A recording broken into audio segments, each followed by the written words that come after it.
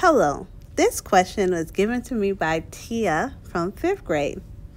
The question says 510 times 72. And to answer this, we're going to use our area model. This is what our new area model would look like, except the top is going to have 500, then a spot for 10, and then it's going to have 70 and a spot for 2. Next, we're going to place all partial products in the spot, starting with the zeros in 500 and 70. There are two zeros in 500, so we're going to place them down, and one zero in 70.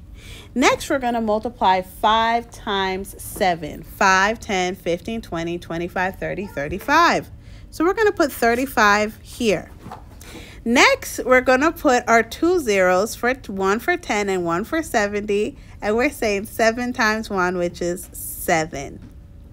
And in our bottom box, we have 500 times 2. 500 times 2 is a 1,000.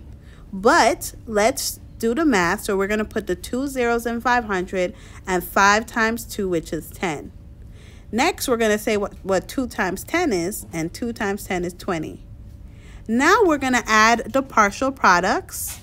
So here's our first partial product, which is 35,000.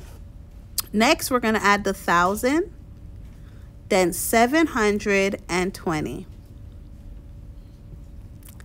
We have zeros and the ones, and then we have two tens. We have seven in the hundreds, and 35 plus 1 is 36 making our answer 36,720. Thanks, Tia, for the question.